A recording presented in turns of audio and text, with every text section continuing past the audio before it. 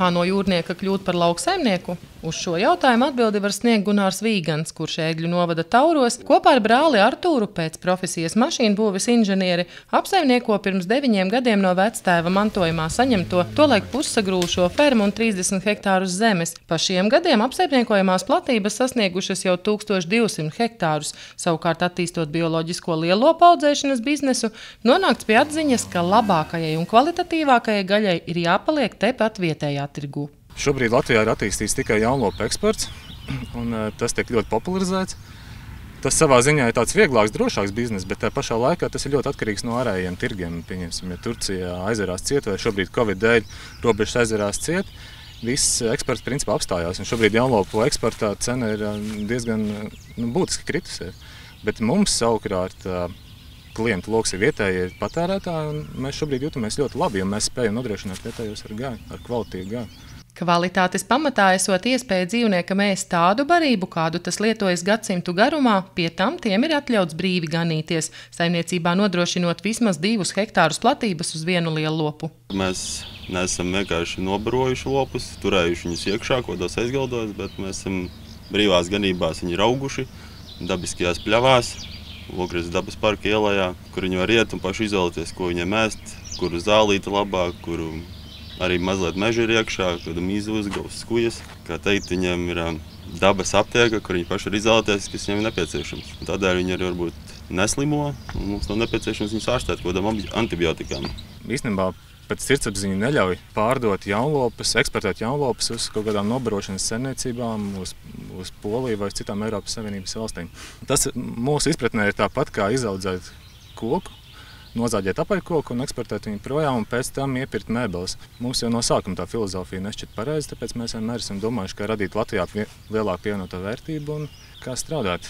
Tas ceļš nevienmēr ir bijis viegls, bet šobrīd mēs redzam, ka tas ceļš mūsuprāt ir bijis pareizs. Ar mētiecīgu darbu un vectēva iemācītu augstu atbildības sajūtu ganāmpulks sākotnēju 18 lielopu vietā nu pieaudzis teju desmitkārtīgi. Atjaunota vecā ferma un pilna cikla bioloģiskajā saimniecībā aug gan paši lopiņi, gan viss tiem nepieciešamais. Saimniecības attīstībai maksimāli tiek izmantots arī Eiropas Savienības fondu finansējums. Tā, īstenojot projektu 2016. gadā, tika izveidots gaļas sadales cehs. Uz to brīdi mums ir kaut kādi 25 dažādi griezumi kurus mēs visu laiku papildinām. Tādēļ, ka ir arī klientiem vēlmes, ir īpašas, ka viņi paprasa kaut ko tādu, ko es pat neesmu zinājis, bet citās valstīs tās ir bijušas delikates.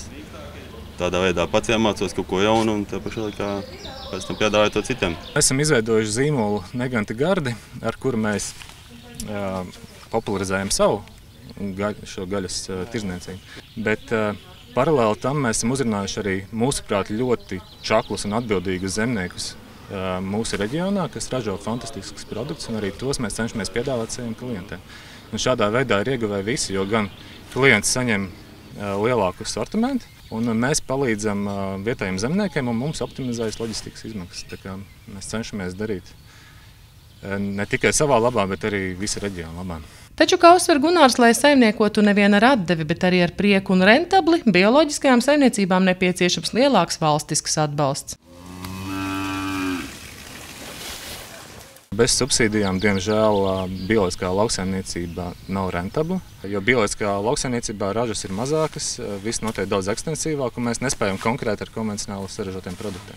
Bet šobrīd mēs no Zemkopības ministrijas neredzam tādus piedāvājumus, kas būtu tendēti uz bioloģiskās lauksaimniecības attīstību. Šobrīd Ja runājot īpaši par gaisa lielopu nozari, tad bioloģiskās subsīdijas tas piedāvājums ir samazināts. Ja, ja subsīdijas samazinās, tad bioloģiskā gaisa lielopu audzēšana kā nozare varētu ciest un varētu saimniecības pat pārstrukturizēties uz citādu darbības veidu, ne bioloģiski. Kā liecina 2018. gada statistika, kopumā Latvijā ir 760 bioloģiskie gaļas lielopu audzētāji, kopējais lielopu skaits saimniecībās pārsniedz 78 tūkstošus lielopu.